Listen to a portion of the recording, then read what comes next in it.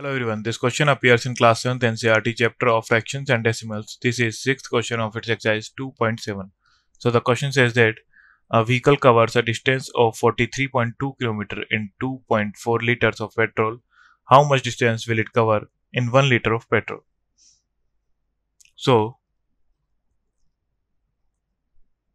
distance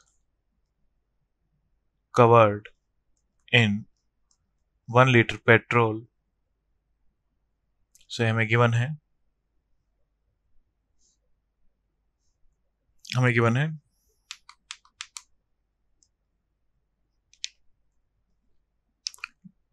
Distance covered in 2.4 liter petrol is equal to 43.2 kilometre so हमें find out करना है।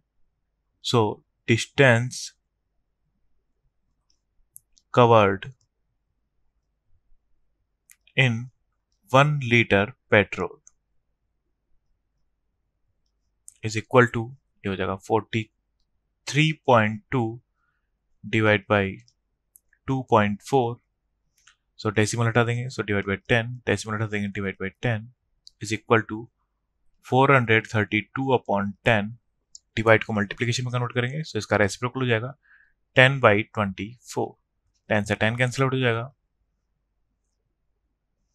To से twelve time to से to time one time then six time then three से four time three से seven time then three to ज़ा six then to से to time to से three time then six time then to से eighteen time so complete आ जाएगा हमारे पास eighteen kilometre so distance distance covered in 1 liter of petrol is 18 kilometer.